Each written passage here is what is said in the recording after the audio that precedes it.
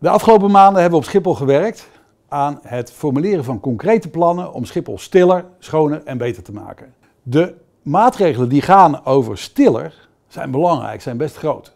Ze gaan erover dat we de nacht gaan sluiten op Schiphol. Van 12 tot 6 kan je hier niet meer vandaan vertrekken en van 12 tot 5 kun je niet meer landen.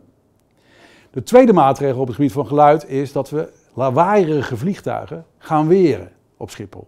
En de derde maatregel is dat we gaan stoppen met het accepteren van privévliegtuigen. Samen maken die drie maatregelen echt een wezenlijk verschil voor slaapstoring voor de mensen rond ons heen. Ernstig slaapverstoorde mensen rondom Schiphol, dat aantal is te groot, maar zal halveren door deze maatregelen. Als ruimte en capaciteit schaars is, dan moet je keuzes maken. En zo maken we nog een aantal, inderdaad, hele concrete keuzes. We gaan geen nieuwe start- en landingsbanen meer aanleggen.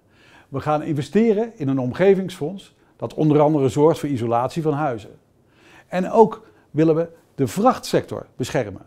Want die sector is belangrijk economisch voor dit gebied.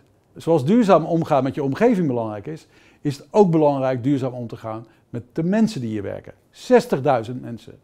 Te lang hebben we hier ons gefocust op lage kosten en we willen gewoon naar iets anders. Een systeem waar het gaat om kwaliteit van werk.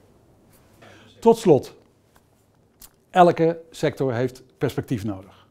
Perspectief voor de omwonenden, voor de mensen die hier werken, voor de airlines en voor Schiphol zelf.